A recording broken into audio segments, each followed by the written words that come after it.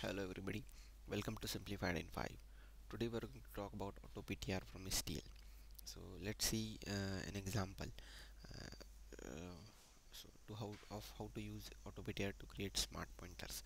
Basically, um, if you want to create the uh, smart pointer to hold an int, uh, you will have to say it like this, and uh, AutoPTR will create a template. Auto PTR is basically a templatized smart pointer provided by STL and this will create the uh, smart pointer for uh, holding int.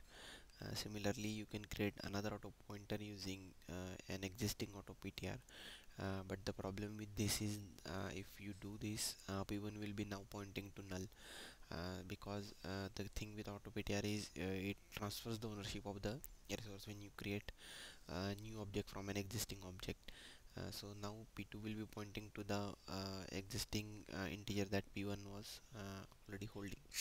So let's see five key things to remember about the auto ptr yeah it will be defined in the memory header.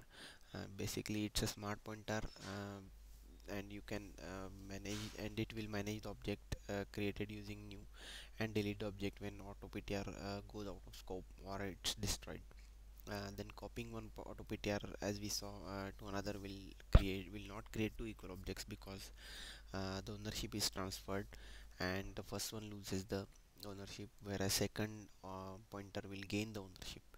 Uh, that's why it's not advisable to use STL containers of auto ptr because with STL you will need the functionality to have copying or creating new object using existing then yeah uh, see since because of this problem uh, since C++ 11 auto PTR is deprecated uh, and unique PTR is the option provided uh, which we should be using uh, from C++ 11 onwards.